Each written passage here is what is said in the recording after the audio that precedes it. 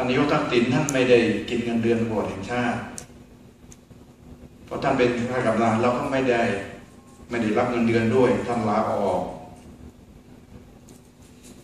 ท่านก็เป็นบุคคลภายนอกอะครับ เหมือนกับเป็นประชาชนทั่วไป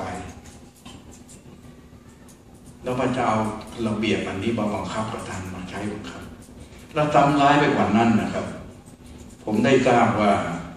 ระเบียบที่เอามาใช้เนี่ยที่จะมาถอดยศท่านเนี่ยเป็นระเบียบที่จะต้องนำไปประกาศในราชกิจจา โดยส่งให้คณะกรรมการข้อมูลข่าวสารแห่งชาตินะครับนำไปลงประกาศในราชกิจจา แต่